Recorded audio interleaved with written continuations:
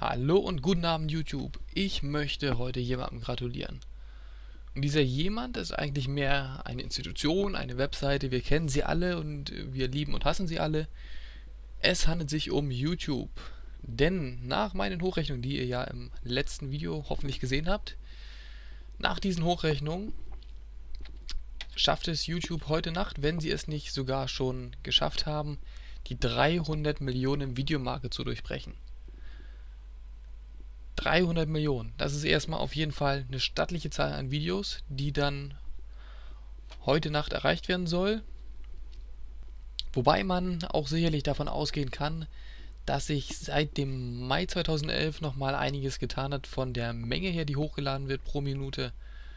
Von daher bin ich mir sicher, dass YouTube schon längst die 300 Millionen erreicht hat, aber nach den Zahlen, die entsprechend veröffentlicht wurden, müsste es heute Nacht europäischer Zeit irgendwann soweit sein, sprich morgen quasi, also den heutigen Tag irgendwie in den USA. Mit der Zeitverschiebung ist das ja immer so, so eine Sache. Aber auf jeden Fall, wenn ihr in ein paar Tagen dieses Video seht, dann könnt ihr euch ziemlich sicher sein, dass auf YouTube 300 Millionen Videos vorhanden sind. Ich gebe euch mal ein kleines Beispiel für diese 300 Millionen, um euch das mal ein bisschen besser bildlich vorstellen lassen zu können. Laut Wikipedia beträgt die durchschnittliche Schrittlänge 63 cm.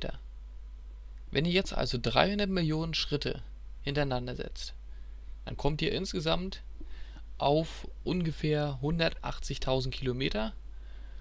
Mit anderen Worten, ihr könnt über viermal die Erde umrunden. Mit 300 Millionen Schritten.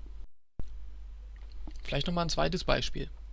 Wenn ihr würfelt und wir nehmen mal an, einmal würfeln dauert ungefähr eine Sekunde. Das kommt ziemlich gut hin.